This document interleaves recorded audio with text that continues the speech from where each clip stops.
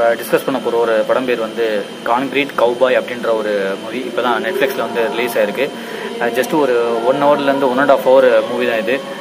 So இதை பற்றி பேசுறதுக்கு முன்னாடி சில படம்லாம் வந்து ஸ்டார்ட் பண்ண உடனே என்ன பண்ணணும்னா அப்படியே நம்மளை ஸ்பீடாக வந்து ஒரு தேர்ட்டி கிலோமீட்டர் ஸ்பீடில் வந்து அப்படியே நம்மளை எழுதிட்டு போவோம்.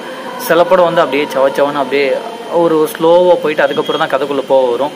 இந்த மாதிரி படம் நிறையா படம் வந்து ஆஸ்கார்வால் நாமினேட் இருக்கு. ஈவன் இந்த ரெவனண்ட்டுன்னு சொல்லிட்டு அந்த டெக்கோபுரியா நடித்த படம் கூட அவர் ஒரு படத்தில் வந்து ஒரு ஒரு- ஒரு மணி நேரம் வந்து தவந்துக்கிட்டே தான் போவார். ஏன்னா அந்த நிறைய அடிபட்டிருக்கனால. ஆனால் அந்த படம் வந்து அவார்டு வாங்குச்சு. ஏன்னா அங்கே உள்ள அவர்களுக்குள்ள பிரச்சனையை பேசுறதுனால அது மாதிரி சில படம் வந்து பார்க்க ஸ்லோவாக இருக்கும். ஆனால் அவங்க அவங்க நாட்டில் நடக்கிற ஒரு பிரச்சனை வந்து ரொம்ப ஸ்ட்ராங்காக பேசியிருப்பாங்க. அதனால தான் ஒரு பெரிய அவார்டு வரை இந்த படமுமே அந்த மாதிரி தான். ஜஸ்ட் ஒரு ஸ்லோவாக தான் ஸ்டார்ட் பண்ணுற மாதிரி இருக்கும். ஆனால் ஒரு டயத்தில் அந்த ஒரு ஸ்டேட்டில் நடந்த பிரச்சனையை வந்து பேசுகிறாங்க அந்த கவு பாய்ஸ்னு சொல்லிட்டு நமக்கு வந்து கவு பாய்ஸ் அப்படின்னா என்ன ஞாபகம் வரும்னா ஜஸ்ட் நம்ம ஜெய்சங்கர் படம்லாம் பார்த்துருப்போம். அப்போ அவர் வருவார் ஒரு ஜாலியாக வந்து ஒரு ஃபைட் அவர் துப்பாக்கி சுற்றுறது அந்த ஏன்னா அந்த ஜெய்சங்கர் அவங்க தான் வந்து இந்த கவுபாயோட அந்த ஒரு இதை கொண்டு வந்தாங்க.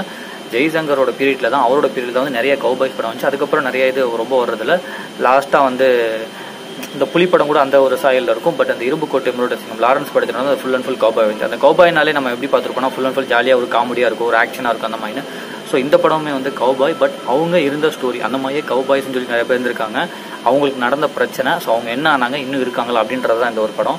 ஸோ இது வந்து ஒரு ஃபாரின் கண்ட்ரியில் வந்து ஒரு சிட்டியில் இந்த மாதிரி கவுபாய்ஸ் இருந்திருக்காங்க. ஸோ அவங்களுக்கும் அந்த நடக்கிற கவர்மெண்ட் அவங்க வந்து இதெல்லாம் பிடிக்கவே இல்லை. இந்த ஸ்மெல் வருது இதெல்லாம் நீங்கள் பண்ணக்கூடாது. ஸோ உங்களோட குதிரையெல்லாம் நான் பிடிச்சிட்டு போயிடுவேன் இதை வச்சு நீங்கள் இது பண்ணக்கூடாது ரைட் போகக்கூடாது அப்படின்னு சொல்லிட்டு ஒரு ப்ரெஷர் கொடுத்துட்ருக்காங்க அதெல்லாம் மீறி அவங்க எப்படி அந்த குதிரையோட வாழ்கிறாங்க தன்னோட லைஃப்பை வந்து எப்படி ப்ரொசீட் பண்ணுறாங்க அப்படின்றது இந்த படத்தோட கதை. So starting full and full அந்த கவுபாய்ஸ்னால ஒரு ஒரு அப்பா பையனுக்குள்ள ஒரு ரிலேஷன்ஷிப்பில் தான் வந்து படத்தை வந்து ஸ்டார்ட் பண்ணுறாங்க அப்பா வந்து இந்த வேலை எதுவுமே செய்யாமல் வந்து ரொம்ப ட்ரக்ஸ் அந்த மாதிரி அந்த ஒரு விற்கிறதுக்கு போயிடுறாரு. ஒரு டயத்தில் வந்து போலீஸ் அது எல்லாத்தையும் திருந்தி விட்டுட்டு எல்லாத்தையும் திருந்தி வந்து இந்த ஒரு இந்த குதிரை அந்த மாதிரி அப்படியே ஒரு ரைடு அந்த மாதிரி போயிட்டு இருக்காரு. ஸோ இதே மாதிரியே அவரோட பையனும் வந்து போயிட்டு இருக்கா ஒரு டயத்தில் அவங்க அம்மாவுக்கு பிடிக்காம அவங்க அப்பா கிட்டே அமுச்சு விட்றாரு இங்கே வந்து பார்த்தா அப்பா வந்து ரொம்ப குதிரை அது சுற்றிட்டு இருக்காரு. இவனுக்கு வந்து அந்த குதிரையை பற்றி எதை பற்றியுமே சொல்லியே தர மாட்டாங்க ஜஸ்ட் க்ளீன் பண்ண அதை மட்டும் தான் சொல்லி தராங்க. ஒரு டயத்தில் அப்பா பையனுக்குள்ள ஒரு பெரிய ஒரு சண்டை வருது. அப்புறம் தான் எக்ஸ்பிளைன் பண்ணுறாரு அப்புறம் கொஞ்சம் கொஞ்சமாக சொல்லி தராங்க.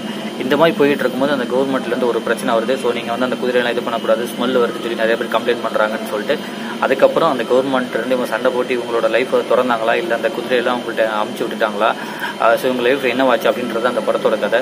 ஸோ இந்த படத்தில் வந்து நிறைய வந்து அந்த பிளாக் அண்ட் ஒயிட் அவங்களோட பிரச்சனை நிறைய பேர் பேசியிருப்பாங்க. சொல்லுவாங்க நம்மளோட நிறைய ஹிஸ்ட்ரியை வந்து இந்த ஹாலிவுட்காரங்க வந்து ஃபுல்லாகவே மறைச்சிட்டாங்க. நிறைய புக்ஸ்லேருந்து நம்மளோட ஹிஸ்ட்ரியை வந்து எடுத்துட்டாங்க அப்படிவாங்க ஒரு சீனில் இன்னொரு சீனில் வந்து நமக்குலாம் முன்னாடி கவு ஹேண்டு தான் சொல்லுவாங்க. இவங்க தான் நம்மளை வந்து கை கவு பாய்ஸ்ன்னு சொல்லி மாற்றிட்டாங்க ஸோ அந்த ஒரு அந்த ஒரு பிளாக் அண்ட் ஒயிட் பிரச்சனை அப்பயே எந்த அளவுக்கு இருந்தது கேட்டவங்க ஏன்னா இதை ஃபுல் அண்ட் ஃபுல் வந்து இந்த பிளாக் அவங்க பீ பிளாக் பீப்புள் தான் வந்து ஃபுல்லாக அந்த க அந்த கவு பாய்ஸில் வந்து நடிச்சிருப்பாங்க. ஸோ ஏன்னா அவங்க இருக்கனால எவ்வளவோ கவர்மெண்ட் வந்து புஷ் பண்ணாங்க. இவங்க இதை விட்டு போகவே மாட்டாங்க. அது என்ன ஸ்மெல் வருதுன்னு சொல்கிறீங்க ஏன் உங்கள் சைடில் நீங்கள் இது வளர்க்குறது இல்லை அப்படின்னு சொல்லிட்டு அவங்கள்ட்ட ஃபைட் பண்ணுறது அந்த குதிரையை வந்து ரைடு கற்றுக் கொடுக்குறது அது வந்து குதிரையை அடக்கிற மாதிரி அந்த இது பண்ணுறது அதுக்கப்புறம் அந்த குதிரை இதாக இருந்தாலுமே வந்து தன்னோட இதை விட்டு கொடுக்கக்கூடாது இதுதான் என்னோட தொழில் இதுதான் எங்களோட இது. நாங்கள் இதையே விட்டு கொடுக்கணும் அப்படின்னு சொல்லுது லாஸ்ட் வரையும் அதில் வந்து ஸ்ட்ராங்காக இருப்பாங்க.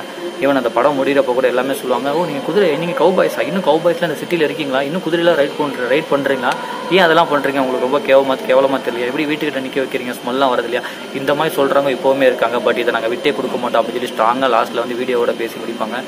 ஸோ இது வந்து உண்மையிலே இந்த மாதிரி இது வந்து ஒரு நாவலை வந்து பேஸ் பண்ணிட்டு இருக்காங்க. அந்த கவுபாய்ஸ் அவங்களுக்கு நடக்கிற பிரச்சனை அவங்க இந்த இடத்துல வந்து வாழ்ந்துருக்காங்க. அவங்க எவ்வளோ இம்பார்ட்டன்ட் கொடுத்துருக்காங்க. அதில் உள்ள ஒரு அப்பா பையன் ஸ்டோரி இதெல்லாம் பேஸ் பண்ணி தான் இந்த படம்.